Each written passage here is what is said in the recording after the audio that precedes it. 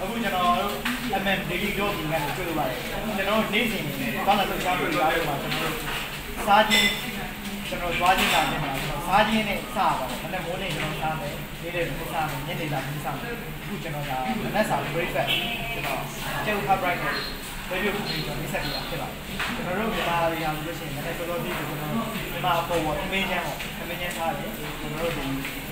မင်းကြော်ပေါ့အဲဒါမှမဟုတ်လို့ရှိရင်ဘယ်လိုဖြစ်နေစီချမ်းနေထားတယ်နောက်ကျွန်တော်တို့ကမြန်မာလူမျိုးက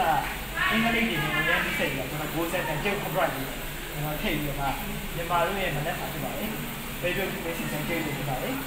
အာဒီကကျွန်တော်ဒီဘက်ဘက်ကိုစီချမ်းကြကြလေးကိုကျွန်တော်လည်းကိုမလက်စာနေနဲ့ဖားတော့မှာဖြစ်ပါတယ်အဲပရိသတ်ကြီးတဲ့မနေ့ခင်းတိုင်းဘက်ဘက်ကိုစီချမ်းနဲ့ကျေခဘရက်ကိုစားလိမ့်မယ်လို့ကျွန်တော်ပြောပါတယ်အားလုံးကျေးဇူးတင်ပါတယ်ကျွန်တော်တို့ရဲ့ YouTube channel ကို like and subscribe လုပ်ပေးထားပါကျွန်တော်ရဲ့ Facebook ကိုလည်း like and share လုပ်ပေးပါ ভালো